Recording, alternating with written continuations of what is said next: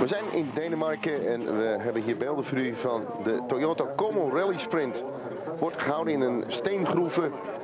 En die steengroeven bevindt zich in het plaatsje Gammelrand, vlakbij Kalundborg in Denemarken. Voor de mensen die de kaart erbij hebben, is makkelijk te vinden.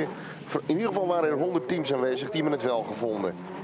Er waren inschrijvingen uit Noorwegen, Zweden en Duitsland. En we hadden een aantal kwalificatiesessies en natuurlijk een finale. Is hier weekend Mulfat in actie met zijn Toyota Celica. Won dit jaar twee rondes meetellend voor het Deens Rally kampioenschap. Een auto die ooit gereden werd door Carlos Sainz is dat trouwens in de Australische rally in 1992. Steen Andersen hier. Rijdt met de escort van Jan Mortensen. Jan Mortensen is uh, de kampioen van Denemarken, maar is vorig jaar gestopt met rijden. En in Boreham in Engeland werd nog even een hele mooie motor erin gezet. Henrik Soelberg met de Toyota. Ook een auto die gereden werd door Carlos Sainz in vroeger dagen. In 90 reed hij daarmee de 1000 meter rally in Finland. Jens Ole Christiansson, negenvoudig Deens rallykampioen. Hij won de, Kumo, de Como Rally Sprint al drie keer met een Opel Manta. En hier in actie met de Opel Ascona 400. Dit is John Frederiksen met een Nissan Sunny. Hij heeft zes jaar niet gereden.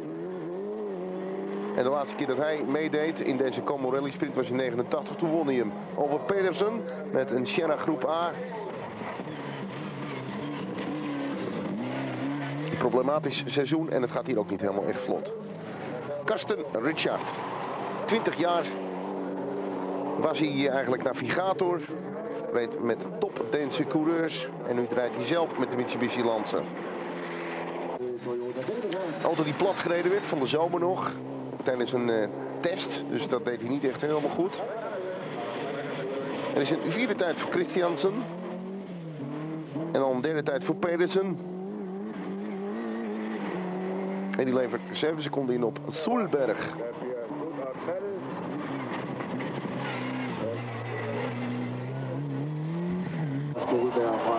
Soelberg, die niet echt een asfaltspecialist is, is toch snel. Tweede tijd dus.